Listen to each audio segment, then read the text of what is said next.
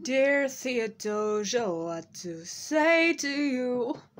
You have my eyes, you have your mother's name. When you came into the world, you cried and broke my heart. I'm dedicating every day to you. Domestic life was never quite my style when you smile.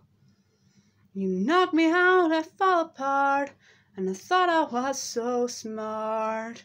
You will come of age with our young nation. We'll bleed and fight for you, we'll make it right for you. If we lay a strong enough foundation, we'll match it all to you, and we'll build a world for you, and you'll blow us all away. Someday, someday.